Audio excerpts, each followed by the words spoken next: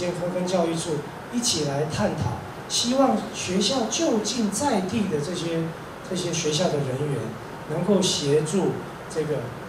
啊，来帮忙维持跟呃讨论这个营养午餐平日的一个品质。出席学校午餐食安临政平台教育训练，市长谢国良致辞强调，学校营养午餐食材需要师长和学校共同把关，鼓励国小，包括校长跟学校同仁，也都在这一段时间能够去尽量协助啊，去把关这些营养午餐的一个品质跟送来学校跟制作的这个过程。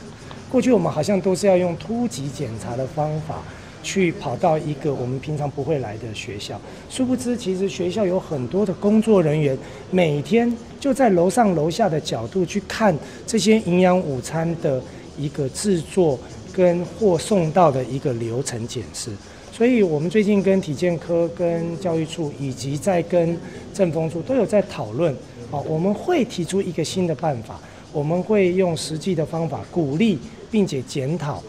国小。以及公立幼稚园在这个营养午餐在校的人员的一个监督的一个机制。政府邀集一百二十位负责学校营养午餐食安人员、食安稽查和采购人员参加研习课程，还邀请基隆地检署主任检察官黄嘉妮市调站进行研讨，提供务实的经验和法律见解。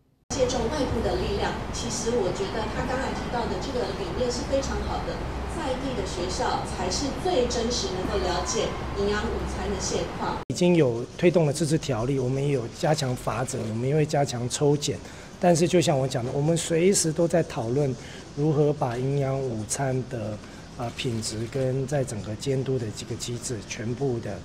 透明化。政府强调，学校午餐食安廉政平台已经启动，未来会加强抽查。并由政风人员适当的介入行政稽查，若有发现不法弊端情事，将交由司法机关追究责任。记者黄少明这样报道。